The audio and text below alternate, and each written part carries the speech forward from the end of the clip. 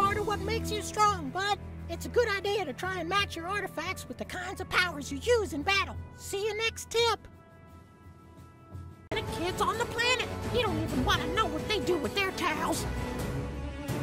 Fireworks, give it a try. Reese likes kids a whole lot. You don't want to get caught in his hook. You might really need a towel then. You can use your snapping pops to knock things down. See ya, bud. The far room as fast as your little legs can take you there. Hope you have some fast attack. Shit! Spontaneous booty will fuck you up, kids! You better run like hell! Super powerful tools to use in combat. Your new fart power can totally nullify an enemy turn. You can craft all kinds of things from components.